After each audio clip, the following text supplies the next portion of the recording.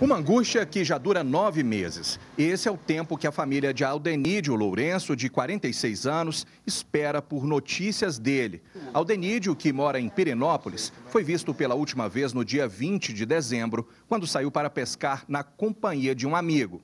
O lugar onde o Aldenídio veio pescar fica na zona rural do município de Goianésia, a cerca de 100 quilômetros da casa dele.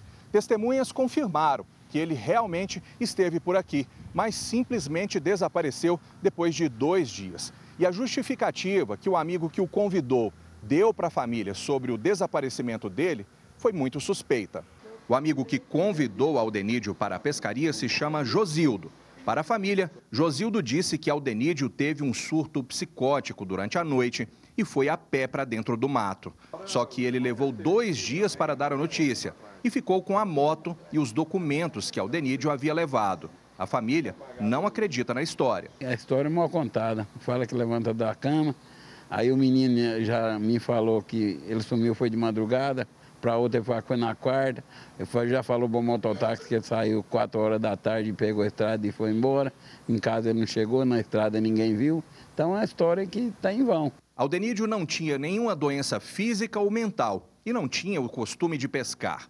Ele foi convencido a ir ao acampamento por Josildo. Segundo a família, Josildo é dono da casa onde Aldenídio morava e estaria contrariado pelo fato do inquilino estar com o aluguel atrasado. Para a irmã, Aldenídio foi assassinado. É muito triste, muito triste.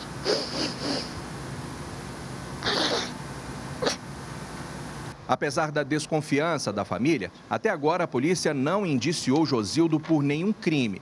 É que o corpo de Aldenídio não havia sido encontrado. Mas em junho, um corpo com as roupas e algumas características dele foi achado em Vila Propício, distrito de Goianésia.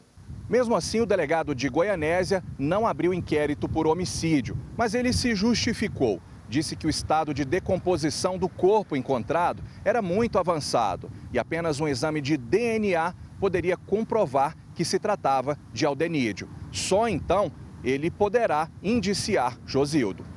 O corpo foi levado para o Instituto Médico Legal de Séries e depois para o IML de Goiânia, onde aguarda dois meses para ser submetido ao exame. A família está preocupada a filha de Aldenídio teme que a demora possa favorecer o possível autor do crime. Além disso, permanece a incerteza e a angústia de não saber se o pai está realmente morto. Uma angústia que não deve passar tão cedo. É que, pelo telefone, os funcionários do IML a informaram de que exames como esse podem levar anos para ficarem prontos. Até agora nada foi feito, assim, um exame, nada, e, tem, e infelizmente eles, nós ligam lá, eles falam que tem que esperar, né? Fico nessa angústia, nesse sofrimento, assim.